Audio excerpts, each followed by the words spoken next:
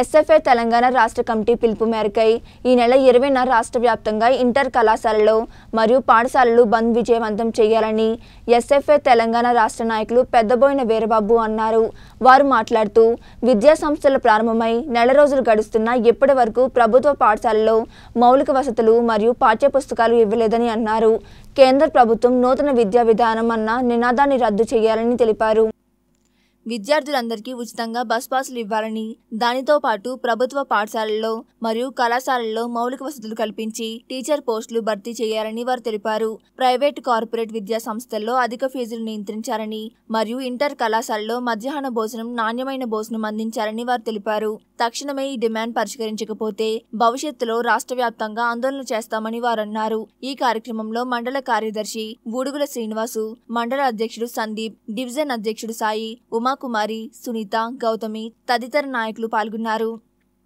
విద్యార్థులకు ఇంటర్మీడియట్ కళాశాలలో attender post భర్తీ చేయాలి వాచ్మెన్ పోస్టు భర్తీ చేయాలి. టాయిలెట్స్ లేక ఇబ్బంది పడతా ఉన్నారు విద్యార్థులు. మంచినీరు తాగడానికి మంచినీరు లేక ఇబ్బంది పడతా ఉన్నారు. బెచ్చులు ఊడిపోతున్న భవనాలు ఉన్నాయి. లెక్చరర్ పోస్ట్ ఇప్పటివరకు భర్తీ చేయలేదు. కాబట్టి కనీస సౌకర్యాలు మౌలిక సదుపాయాలు కల్పించాలనేటువంటి డిమాండ్ తోటి అనేకమైనటువంటి విద్యారంగ సమస్యలు ఎదుర్కొంటున్న విద్యార్థుల కోసం ఇంటర్మీడియట్ విద్యార్థులు ప్రభుత్వ జూనియర్ కళాశాల విద్యార్థులకు కూడా ఫీజు రియంబర్మెంట్ స్కాలర్షిప్లు కూడా ఇప్పటివరకు విడుదల చేయలేదు. కాబట్టి ఏదైనా కూడా విద్యా సంస్థల్లో విద్యారంగ సమస్యలు పరిష్కరించడం కోసం జూలై ఇరవైవ తారీఖు నాడు విద్యా సంస్థలు బంద్ నిర్వహిస్తా ఉన్నాం. ఈ బంద్కు సంబంధించినటువంటిది ప్రతి తండా నుంచి మొదలు పెడితే రాష్ట్ర స్థాయి వరకు కార్పొరేట్ విద్యా సంస్థ వరకు కూడా ప్రతి ఒక్క విద్యా సంస్థని బంధు నిర్వహిస్తా ఉన్నాం. కాబట్టి ఎక్కడైతే స్థానికంగా ఉన్నటువంటి ఎస్ఎఫ్ఐ నాయకులు ఎక్కడైతే స్థానికంగా ఉంటారో ఆ స్థానిక విద్యా సంస్థని మూసివేయడం కోసం మొత్తం ప్రయత్నం జరుగుతాయి. ఈ బంధు పూర్తి స్థాయిలో బంద్ జరుగుతుంది. కాబట్టి బంద్ చేసినటువంటి తర్వాత జూలై ఇరవయో తారీఖు తర్వాత బంద్ చేసినా కూడా ఈ రాష్ట్ర ప్రభుత్వం కేసీఆర్ గారు సబితా ఇంద్రెడ్డి గారు సబితా ఇంద్రెడ్డి గారు కూడా స్పందించకపోతే వచ్చే నెల ఆగస్టు మూడవ తారీఖు నాడు రాష్ట్ర వ్యాపితంగా కూడా అందరి విద్యార్థులందరినీ ఏకం చేసి సీఎం క్యాంప్ ఆఫీస్ ముట్టడిస్తామని ఇందు మూలంగా తెలియజేస్తా ఉన్నాం. ఇట్లు భారత విద్యార్థి ఫెడరేషన్ ఎస్ఎఫ్ఐ తెలంగాణ రాష్ట్ర కమిటీ. కూడా ఇర జూలై ఇరవయో తారీఖు నాడు ఇంటర్మీడియట్ ప్రైవేటు ఇంటర్మీడియట్ ప్రభుత్వ జూనియర్ కళాశాలలు అదేవిధంగా ప్రైవేట్ స్కూల్స్ ఇవన్నీ విద్యా సంస్థలు తెలంగాణ రాష్ట్ర వ్యాపితంగా కూడా విద్యారంగ సమస్యలు పరిష్కరించడం కోసం జూలై ఇరవయో తారీఖు నాడు విద్యా సంస్థల్ని బంద్ పెడతా ఉన్నాం. బంద్కు సంబంధించినటువంటి డిమాండ్స్ ఏంటంటే ప్రభుత్వ పాఠశాలలో ఇప్పటి వరకు నెల రోజులు గడుస్తూ ఉన్నా స్కూల్ ప్రారంభమై నెల రోజులు గడుస్తూ ఉన్నా కూడా ఇప్పటి వరకు కూడా ప్రభుత్వ పాఠశాలలో చదువుకునేటువంటి విద్యార్థులకు కనీసం పాఠ్య పుస్తకాలు ఇప్పటి వరకు రాష్ట్ర ప్రభుత్వం విడుదల చేయలేదు. విద్యార్థులకు యూనిఫామ్స్ విడుదల చేయలేదు. విద్యార్థులకు కనీసం సబ్జెక్టులకు సరిపడా ఉపాధ్యాయుల్ని కేటాయించలేదు. ఉపాధ్యాయ పోస్టులు భర్తీ చేయాలి. విద్యార్థులకు అటెండర్లు కూడా స్కూల్లో అటెండర్లు కూడా లేరు. అటెండర్ పోస్టులు భర్తీ చేయాలి.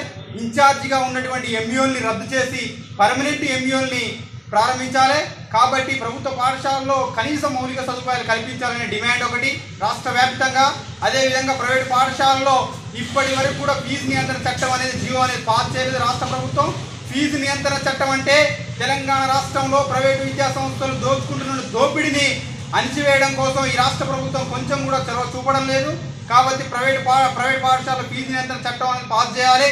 పెచ్చులు ఊడిపోతున్న భవనాలు ఉన్నాయి రేకుల షెడ్లో ప్రైవేట్ ప్రైవేట్ విద్యా సంస్థలు నడుపుతున్నారు. క్వాలిఫికేషన్ లేనటువంటి టెన్త్ క్లాస్ ఫెయిల్ అయినటువంటి విద్య ఉపాధ్యాయులుగా నియమిస్తా ఉన్నారు ప్రైవేట్ పాఠశాలలో. కాబట్టి రేకుల షెడ్లో వర్షం వస్తే కురుస్తూ ఉన్నటువంటి ప్రైవేట్ పాఠశాలలు ఉన్నాయి ఇప్పటి వరకు ఎప్పుడు కూలిపోయే పరిస్థితిలో ఉన్నాయి. కాబట్టి అనుమతులు లేనివంటి ప్రైవేట్ పాఠశాలల పైన చర్యలు తీసుకోవాలి తక్షణమే ఈ రాష్ట్ర ప్రభుత్వం. అదేవిధంగా ప్రైవేట్ కళాశాలలో ఇప్పటి వరకు కూడా కొన్ని కోట్లు ఇరవై ఎనిమిది వేల కోట్లు ఇప్పటి వరకు తెలంగాణ రాష్ట్ర వ్యాప్తంగా కూడా ఓన్లీ ఇంటర్మీడియట్ కాలేజీల ఫీజు రియంబర్మెంట్ స్కాలర్షిప్ స్కాలర్షిప్ కూడా ఇప్పటి వరకు కూడా రాష్ట్ర ప్రభుత్వం విడుదల చేయలేదు. కాబట్టి ఈ రాష్ట్రంలో ప్రైవేట్ పాఠశాలలో లెక్చరర్లు అదేవిధంగా విద్యార్థులు విద్యార్థులు కొట్టుమిట్లు ఆడుతూ ఉన్నారు. స్కాలర్షిప్ కానీ ఫీజు రియంబర్మెంట్ కానీ విడుదల చేయకపోవడం వల్ల ఏదైనా కానీ ఈ రాష్ట్ర ప్రభుత్వం కేసీఆర్ గారు ప్రజల కోసమైనా విద్యార్థుల కోసమైనా ఏనాడు కూడా ఆలోచించడం పాపాన పోలేదు. కాబట్టి రాష్ట్ర వ్యాప్తంగా ఉన్నటువంటి పెండింగ్లో ఉన్నటువంటి ఫీజు రియంబర్మెంట్ స్కాలర్షిప్ తక్షణమే విడుదల చేయాలి అనేటువంటిది ప్రైవేట్ కళాశాల నిబ నిబంధన. కాబట్టి అదేవిధంగా ప్రభుత్వ జూనియర్ కళాశాలలో రాష్ట్ర ప్రభుత్వం కేసీఆర్ గారు వచ్చిన తర్వాత ప్రభుత్వ జూనియర్ కళాశాలలో మధ్యాహ్న భోజనాన్ని అమలు చేస్తామని చెప్పారు. ఇప్పటి వరకు కూడా మధ్యాహ్న భోజనాన్ని అమలు చేయలేదు ఇంటర్మీడియట్ విద్యార్థులకు. ఇంటర్మీడియట్ కళా కళాశాలలో అటెండర్ పోస్టు భర్తీ చేయాలి వాచ్మెన్ పోస్టు భర్తీ చేయాలి టాయిలెట్స్ లేక ఇబ్బంది పడతా ఉన్నారు విద్యార్థులు మంచినీరు తాగడానికి మంచినీరు లేక ఇబ్బంది పడతా ఉన్నారు పెచ్చులూడిపోతున్న భవనం